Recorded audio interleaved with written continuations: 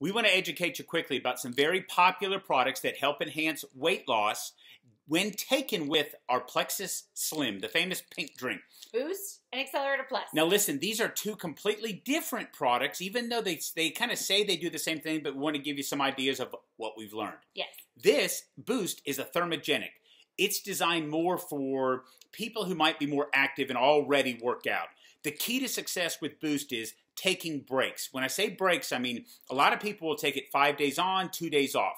Susie, give us a little idea about what the Accelerator Plus is. Accelerator Plus is great for people that seem to have trouble with mindless snacking or emotional eating. Okay. It has 5-HTP in it, and that's a natural mood enhancer, serotonin boost. Um, you, if you're on an antidepressant, you do want to get this. Like, take it to your doctor, have them look at that with the antidepressant you're on. Make sure it's okay.